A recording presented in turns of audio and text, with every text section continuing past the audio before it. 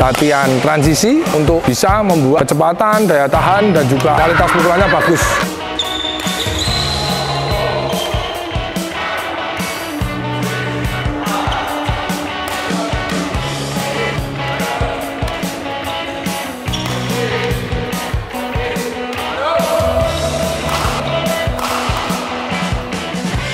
Dan juga kita bisa lakukan drilling untuk lincahan ya. Apabila kita dapat bola-bola cepat kita bisa mengembalikan dengan baik. Kualitas juga bagus pengembalian juga hasilnya juga bagus dan juga suatu ketahanan fisik yang luar biasa supaya kita dari awal sampai akhir bisa di level yang kita inginkan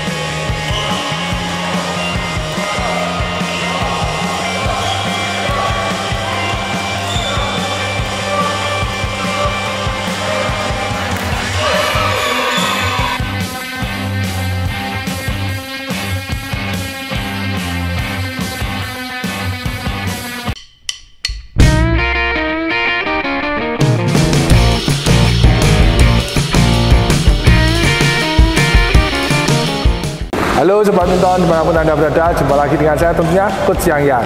Nah, kali ini Coach Yang Yang bersama dengan dua atlet dari luar negeri. Yang satu Asos, kita sudah kenalan tadi dari Saudi Arabia dan sekarang yang satu lagi ya, kita kenalan nih.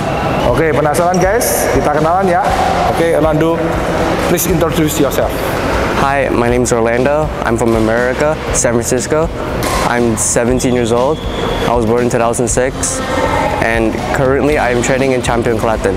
How you feel about training here? I feel like training in Champion Klaten has been an eye-opening experience for me because in the, back in the US we only train like three times a week and per day we only train like two hours a day.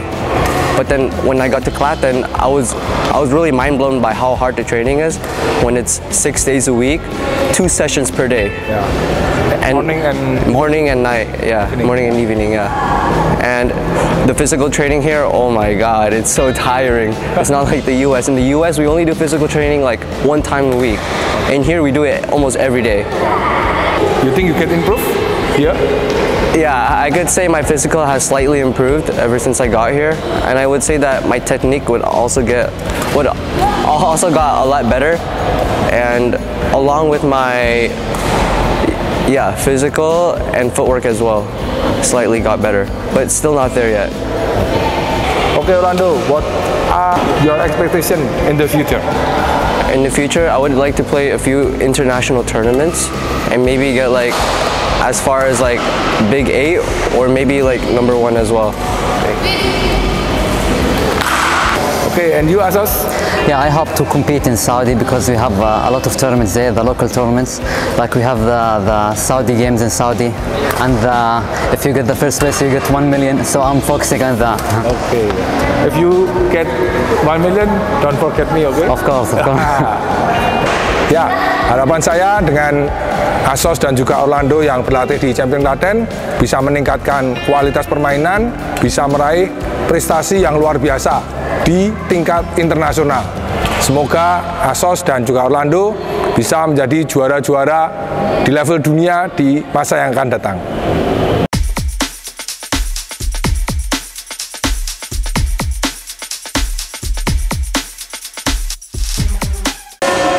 Kali ini saya dan juga Asos serta Orlando akan melakukan latihan yaitu latihan transisi baik dari sisi kanan, tengah maupun dari sisi kiri. Nah, ini bisa kita lakukan 15 pukulan tapi tidak boleh mati ya guys. Kali 10 atau uh, kali 5 5 5 atau kali 777 ya itu tergantung dari kebutuhan programnya. Jadi kalau ini tadi kita melakukan 15 kali 5 55 untuk bisa membuat kecepatan, daya tahan dan juga kualitas pukulannya bagus. Jadi ini dibutuhkan satu kelincahan kaki dan juga kemauan ya, kemauan untuk mengejar ke mana pun arah bola. Jadi ini serangan-serangan dibutuhkan drop shot dan juga smash yang bagus untuk bisa membuat pelatih atau nanti ada temen untuk melakukan defense-defense yang bagus juga. Jadi dua-duanya bisa latihan ini. Yang nyerang bisa berlatih dengan pukulan-pukulan yang bagus, yang defense juga bisa mengarahkan pukulan-pukulan untuk return atau untuk defense.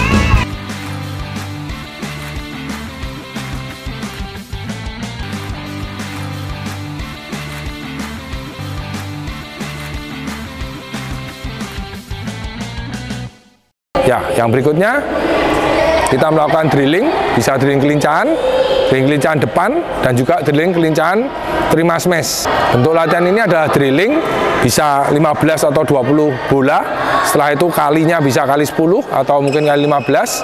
Nah ini tujuannya adalah untuk kelincahan ya. Jadi apabila kita mendapat bola-bola cepat, kita bisa mengembalikan dengan baik, kualitas juga bagus, pengembalian juga hasilnya juga bagus, dan juga suatu ketahanan fisik yang luar biasa supaya kita dari awal sampai akhir bisa di level yang kita inginkan yaitu menjadi seorang pemenang. Ya ini tadi kita bisa latihan di depan kelincahan depan dan juga kelincahan defense atau terima smash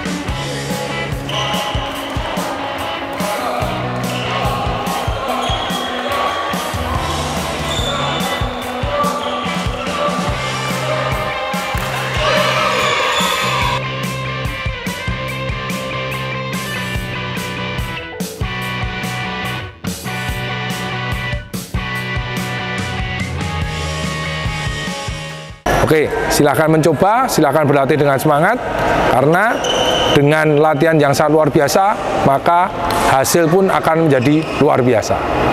Jangan lupa subscribe, like, komen, dan share kepada semua pecinta badminton di mana pun Anda berada. Badminton is fun, we love badminton.